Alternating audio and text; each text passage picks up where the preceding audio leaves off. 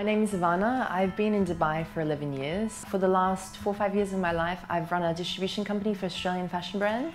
I first heard about Kaya through a really good friend of mine. She was actually getting a treatment done for her acne. It was actually Dr. Tessia that she recommended, and she'd had several treatments with him done before, and she just recommended him for his honesty, basically, and his technique. The experience was nice. The clinic is beautiful, it's modern, it's clean. So, you know, you get a good, really good first impression when you walk in. You're greeted nicely by the staff. Dr. Tessia himself, he listens to what the client wants. Um, I've always said to him, please never go over the top, and he's got that embedded in him now. So if I ask for anything, he's like, he'll say no to me. He's like, no, that you don't need that. That's not good for you. You need to have a good relationship with your doctor. Feel comfortable in their hands. Um, and I guess if it's your first time, recommendation is important and you know how you feel after that, whether you're going to return.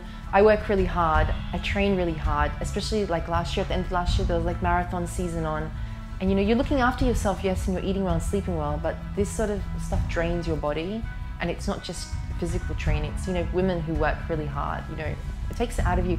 So it's nice to treat yourself and, you know, you feel a little bit more womanly, you get, you feel good, you feel confident when you walk out of there. People comment that you look fresh, but you know, it's never over the top, so they, they don't know that you've actually done anything to your face, which is exactly how you want it.